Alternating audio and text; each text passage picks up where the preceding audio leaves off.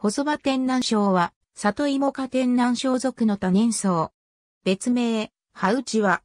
小葉管の端軸が発達した鳥足状に分裂した葉を2個つけ、仏炎法は緑色になり、仏炎方向変部は狭く耳状に開けでする。小型の株は、尾花状をつけ、同一のものが大型になると、目花状、または、両性化状をつける、私有に性種で、尾株から目株に完全に性転換する。植物体の高さは100センチメートルに達する。偽形部や鞘状用にあるブチは赤みが強い傾向にあり、偽形部は傭兵よりはるかに長く、偽形部の傭兵基部の開口部は襟状に開けでする。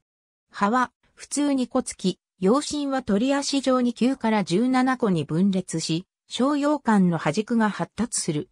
小葉は皮心型から兄弟型で、先端と基部は尖り、円は普通全円であるが、しばしば細かい虚子があることがある。夏季は4から5月、葉と果樹が伸び、果樹は葉の展開よりやや早く展開し、果樹柄は傭兵とほぼ同じ長さかまたは長く、果樹は葉より上部に位置する。仏炎法は緑色で縦に白い筋があり、仏炎法頭部は円筒型になり、頭部後辺部がやや狭く耳状に開け出し、開け出部はしばしば半透明になることがある。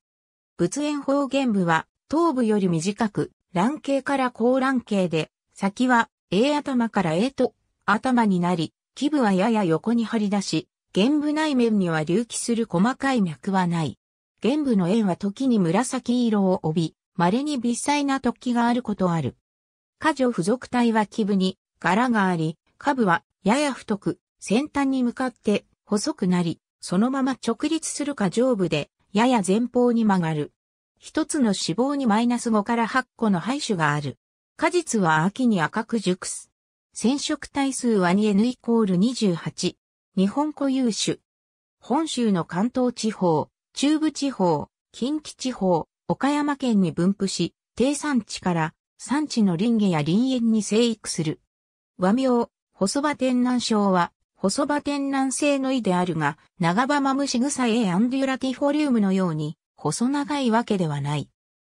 種商名アンガスタテムは、狭くなった、細くなったの意味同族の梅ヶ島天南症 A、前川へに似るが、動詞は、仏炎法頭部後辺部が耳状に広がらないで、狭く開け出し、原部内面が粉白色で乳頭状の再突起が生じ、過剰付属体は太い棒状で先端はやや膨らむのに対し、本種は仏炎法頭部後辺部がやや狭く耳状に開け出し、原部内面に粉白色に見える乳頭状の再突起はなく、過剰付属体は細い棒状となることが異なる。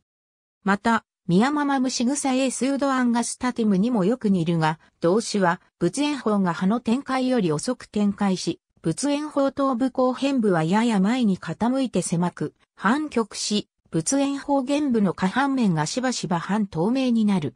本種は仏炎苞が葉の展開よりやや早く展開する。なお、ミヤママムシグサの種小名 pseudoangustatum は、 pseudo angustatum であり、に似た、偽のから狭くなった、細くなったの意味であるが、この場合、細葉天南症に似たの意味になる。ありがとうございます。